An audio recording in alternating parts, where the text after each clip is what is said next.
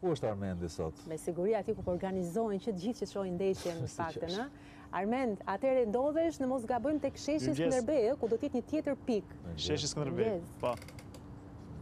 Atëherë na trego diçka më shumë. Do të jetë një nga pikat kryesore sheshi Skënderbej.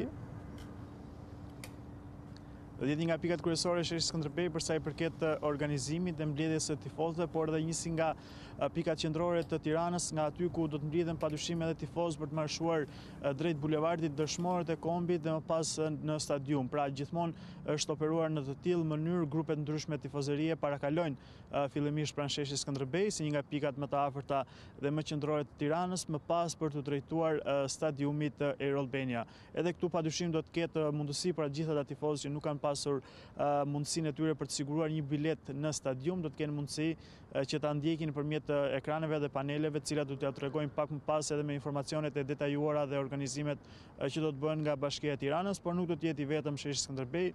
Pedonalja e kryeqytetit po ashtu është një nga pikat kryesore, sheshi pranë tre vëllezërit Frashëri përballë piramidës po ashtu do të ketë organizime të ndryshme dhe do të duket sikur e gjithë qendra e Tiranës do të ketë një fokus të veçantë për sa i përket shikimit të ndeshjes për ata tifozë që fatkeqësisht nuk do të jenë në stadium.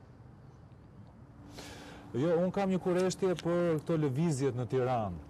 Do lëvizet sot normalisht në Tiranë, apo si gjithmonë kur ka aktivitete të rëndësishme dhe ndeshje, ka kufizime? Nuk e di nëse mund na bësh një përmbledhje për një njoftim që ka dalë zyrtarisht edhe nga policia, po. Padyshim që do të ketë kufizime përsa i përket lëvizjes dhe gjitha rrugicave që të çojnë në stadiumin Air Albania, apo cilat kanë akses në rrugët ku stadiumi pra paraprin rrugëve të tilla. Bëhet fjalë për bulevardin Dëshmorët e Kombit pas Hotel Dajtit, normalisht do të jetë i bllokuar për të lejuar parakalimin e tifozëve. Po ashtu rrugët si Mustafa Matohiti apo rruga Gjon Pali, kemi rrugët e tjera për përbri ambasadës amerikane, po ashtu përbri gjitha rrugicat që janë përreth stadiumit, po ashtu do të jenë të bllokuara.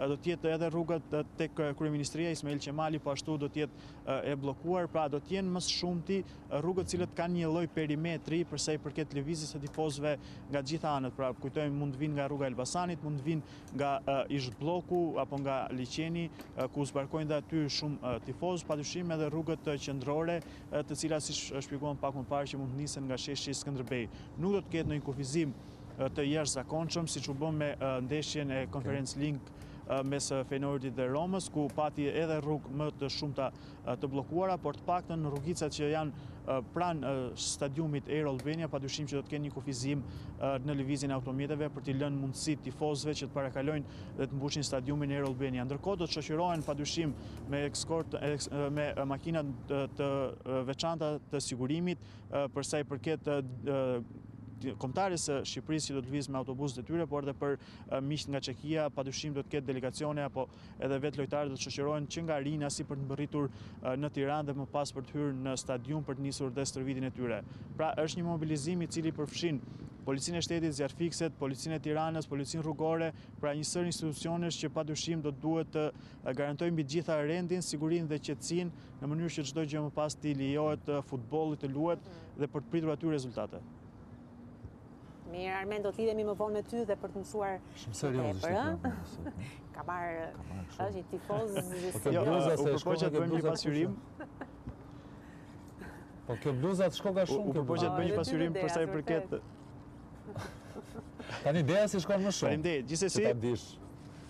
Po. Suksese. Ti të shkon Skënderbeu. Ja. Po, ta. Armen. Okej, do na duash sot disa herë në komunikim, kështu që ëm do të na raportosh edhe për disa momente të tjera, do të kesh edhe një të ftuar aty, po e zbulojmë pak më vonë. Po,